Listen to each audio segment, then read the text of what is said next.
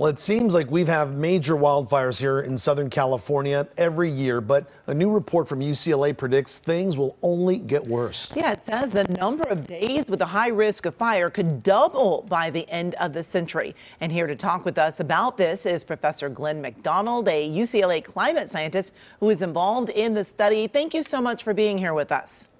My pleasure. Thanks for having me. Well, Northern California usually sees more acres burned from mm -hmm. wildfires, but your report found Southern California could catch up. Why is that?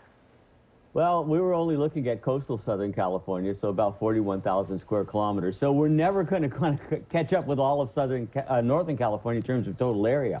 But we could see more and more potential days where we get large wildfires. And for our definition, that would be wildfires of roughly uh, 100 acres or greater. So we could see more frequency of these fires, although we may not get anything quite as big as some of those huge ones that we get in northwestern California or the Sierra.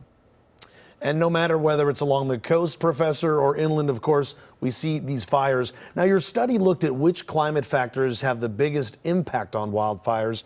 Which ones did you find matter the most for us here in SoCal? We looked at uh, climate and we looked at fuel conditions, which are in a sense, you know, prompted by climatic conditions. And what we found was a really strong climatic control was something called vapor pressure deficit. And it's, it's basically hot, dry air.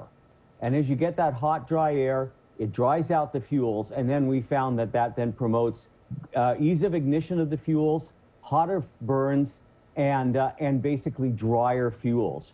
And so it's a bad combination. As temperatures go up, the vapor pressure deficit gets worse, fuels get drier, and we get more and more days when they come together and give us the potential for having a large fire. Yeah, when the Santa Ana winds blow, I'm sure it also uh, doesn't help.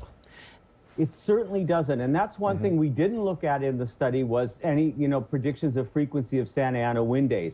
However, as we know, living here in SoCal, we get more Santa Anas as we get into the fall and mm -hmm. the mm-hmm. early winter. And our study suggests we're going to be getting more of those hot, dry air, large fire days uh, moving into the shoulder seasons, moving into fall, moving into spring. Of course, moving into fall and early winter, that's when they will combine with the Santa wow. Anas. But Professor, why was it so important to do this study now? Well, that's a really good question because people ask, well, it's 2100, that's 80 years away. And we'll see basically these, this trend of increasing large fire days building up over the 21st century. It's not going to suddenly happen at 2100, but it's giving us some time to start, let's say, planning. And the two things we can do is, of course, continue to reduce greenhouse gas emissions in the state and globally, but we can also do local things. More fire hardening of our building and our construction, more defensible space around uh, structures, and maybe looking at our planning so we don't put development in high fire risk areas. It's, it's kind of like telling us what the future could look like and, and giving us some um, incentive to tackle things now. And Professor, you, you sort of answered my next question, but I'm curious, are, is it too late? Can we really do these, can these changes really affect the future? Well, yes, I think they can. We looked at two different scenarios, a really high um, greenhouse gas emission scenario and a more moderate scenario. And we see with the moderate scenario, you know, if we start getting on top of this, even if we don't do it perfectly, but we start decreasing those greenhouse gases, we will very significantly decrease the number of uh, large fire days in terms of weather and fuel conditions that we have as we move through the 21st century. So mitigating greenhouse gases now can cause, it can really uh, change things as we move into the 21st century. And then again, you know, local ordinances for building materials, defensible space, where we're going to build, where we're not going to build.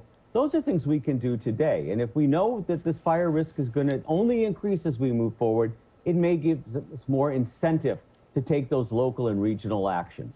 All right, uh, Professor MacDonald, thank you so much for joining us today. Always great uh, to get these um, occasional reminders of what we can do. Thanks so much. Thank you. Mm -hmm.